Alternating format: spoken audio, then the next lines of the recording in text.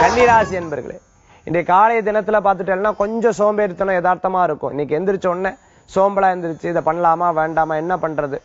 ஏன் இப்படி சொன்னாங்க ஏன் இப்படி பண்ணாங்கன்னு பல்வேறு விஷயங்களை பாசிட்டிவ் நெகட்டிவ் ரெண்டையுமே திங்க் பண்ணக்கூடியதாக இருக்கும். பாசிட்டிவா திங்க் பண்ணும்போது உங்களுக்கு ஒரு பெரிய உற்சாகமாகும்.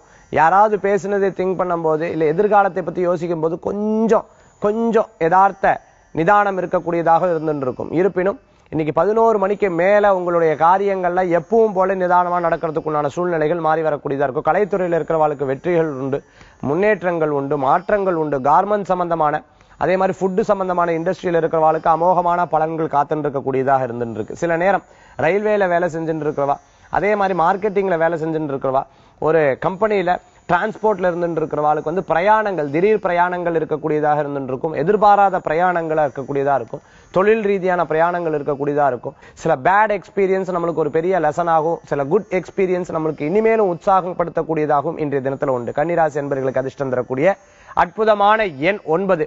நிறம் ஊதா வழிபாட்டுக்குண்டான தெய்வம் குலதெய்வ வழிபாடு காமாட்சியம்பாள் வழிபாடு சாரதாம்பாள் வழிபாடு வெற்றி தரும் அற்புத வழிபாடு.